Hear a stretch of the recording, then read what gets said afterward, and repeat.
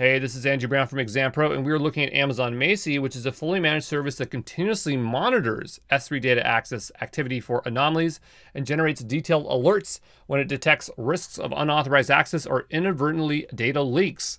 So that was a very long sentence. Uh, so if you weren't following along, uh, I wasn't either.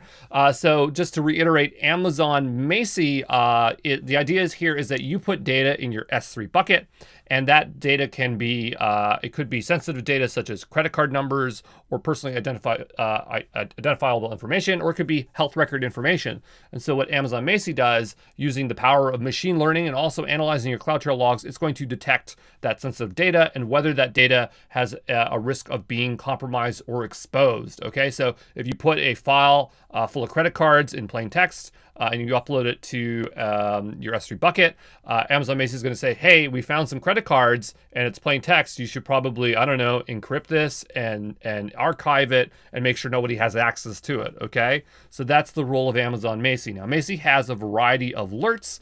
Uh, and this kind of gives you an idea the kind of things it can detect. So ransomware, someone trying to uh, um, uh, lock you out your data and make you pay for it. Privilege escalation, so someone uh, trying to get access to stuff that they're not supposed to.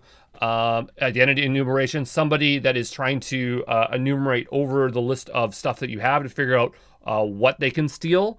Information loss, if you've lost data, credentials lost. So if you have stored credentials there and they were lost. So uh, there's a bunch of alerts that it can alert you on. The other thing that it can do is uh, it will identify your uh, most at-risk users, which could lead to a compromise. Okay, so if you have someone on your team and uh, you know they're just having very poor practices and accessing sensitive files very often, they're going to rank it based on this um, uh, these uh, badges, okay? And it's funny because you think bronze would be the worst user, but platinum is actually the worst user. So the, the nicer the badge, the worse uh, this user is, and you have to give them uh, that attention, okay? But anyway, that is what Amazon Macie is.